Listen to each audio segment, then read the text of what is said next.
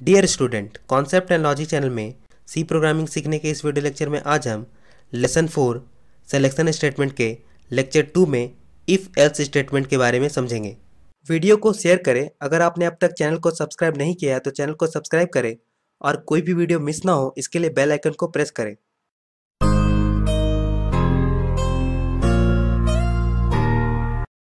अगर आपने अब तक lesson one introduction to C के इन सात video lecture lesson two basics of C के इन सात video lecture lesson three arithmetic instructions के इन सात वीडियो लेक्चर और लेसन फोर सेलेक्शन स्टेटमेंट के लेक्चर वन इफ़ स्टेटमेंट के वीडियो लेक्चर को नहीं देखा है तो इसका लिंक मैं डिस्क्रिप्शन में शेयर कर रहा हूँ, या फिर हमारे चैनल के प्लेलिस्ट से जाकर आप वीडियो लेक्चर को देख सकते हैं.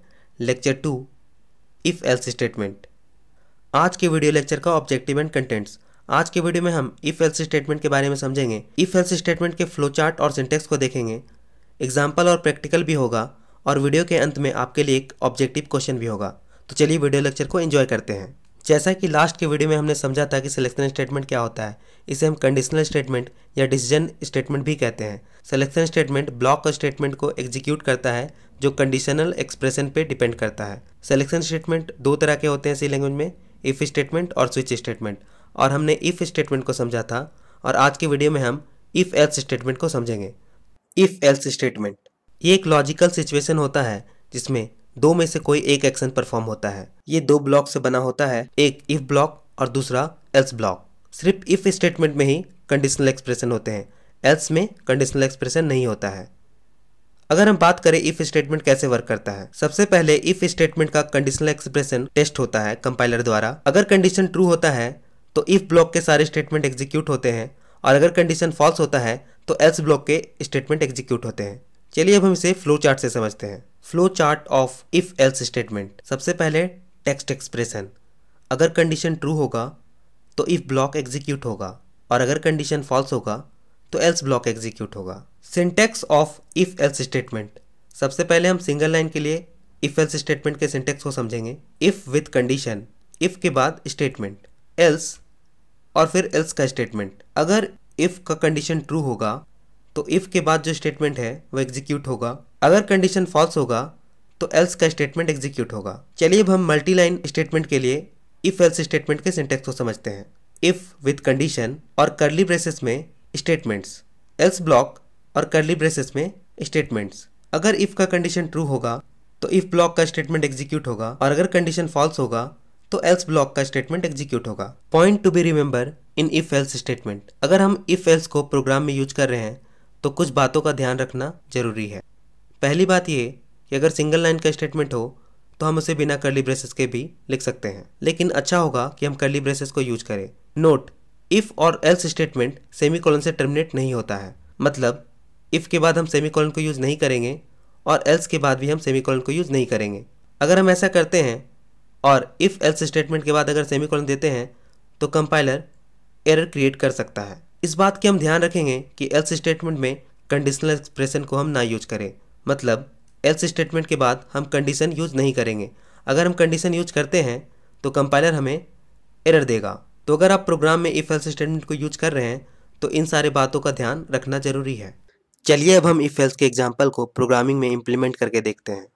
जैसा कि आप स्क्रीन पर देख रहे हैं, मैंने कोड ब्लॉक आईडी को ओपन कर रखा है। मैंने यहाँ पे एक फ़ाइल को सेव किया है नंबर डॉट सी और मैंने यहाँ पर hash include s t d i dot h header file को इंक्लूड किया, और यहाँ पर मेन फ़ंक्शन को डिफ़ाइन किया, और यहाँ पर करली ब्रेसेस को मैंने ओपन किया है।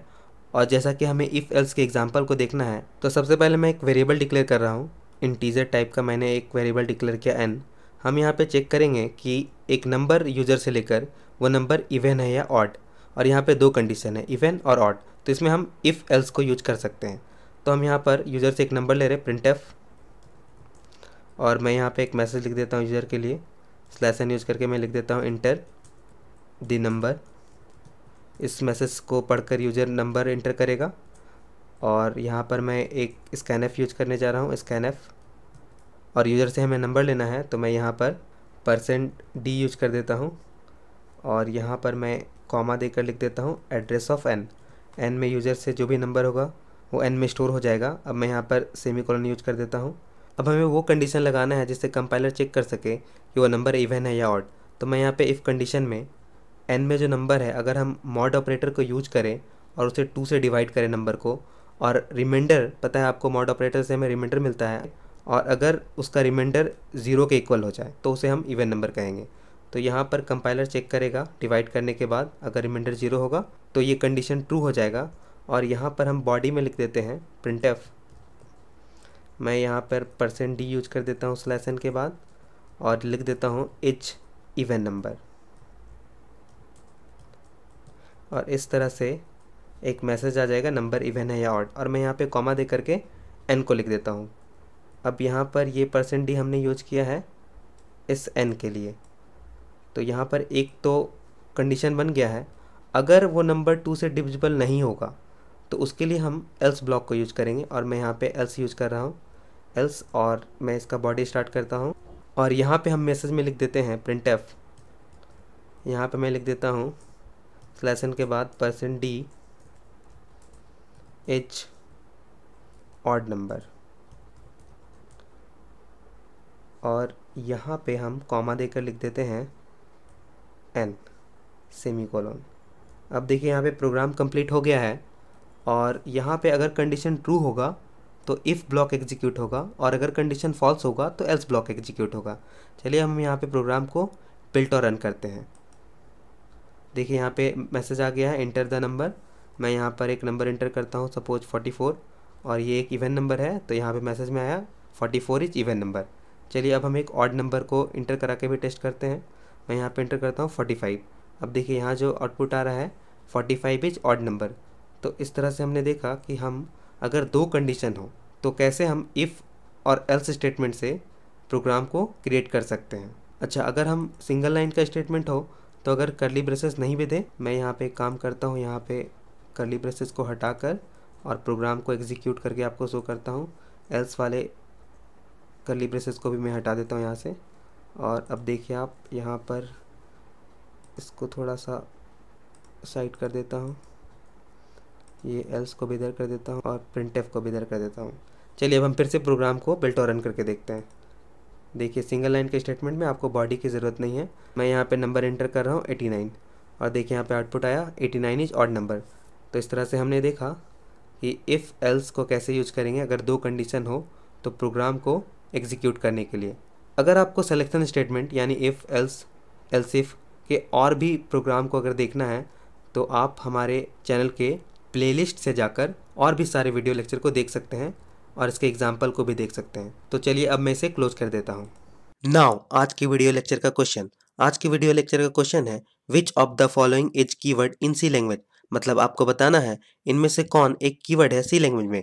आपके ऑप्शन है A if B else C, switch और डी ऑल ऑफ़ दिस आप अपना जवाब कमेंट सेक्शन में लिख सकते हैं। आज की वीडियो में आपने जो भी सीखा, समझा, अपने दोस्तों को सिखाएँ, समझाएँ, क्योंकि जैसा कहते हैं नॉलेज ग्रो वेन शेयर्ड और हो सके तो इस वीडियो लेक्चर को ज़्यादा से ज़्यादा लोगों के साथ शेयर करें, ताकि ज़्यादा से ज़्यादा लोग प्रोग्रामिंग सीख सके। Thank you and take care